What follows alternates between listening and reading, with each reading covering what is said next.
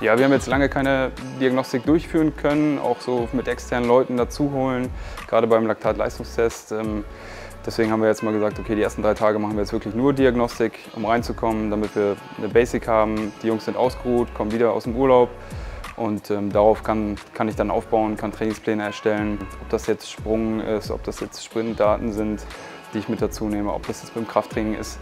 Deswegen wollten wir das jetzt mal isoliert machen und dann geht es ab Montag beziehungsweise eigentlich schon ab Samstagmorgen dann auf den Platz los.